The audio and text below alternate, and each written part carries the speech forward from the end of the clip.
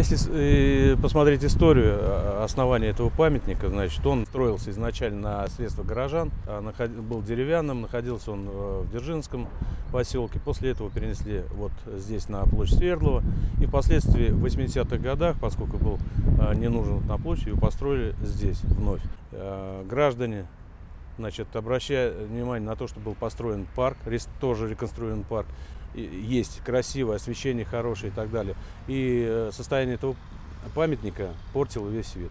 Самое дорогое, что э, значит, передается из поколения в поколение, это память.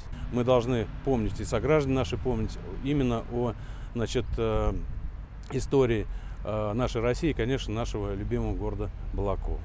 Повторилось то, что было изначально когда строился этот памятник э, именно в том веке э, в поселке Дзержинском, э, именно на средства граждан.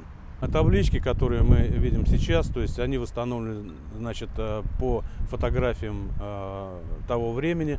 Полностью восстановление памятника это штукатурка наружная, значит, шпаклевка, сама реставрация происходила руками, производилась руками именно членов боевого братства.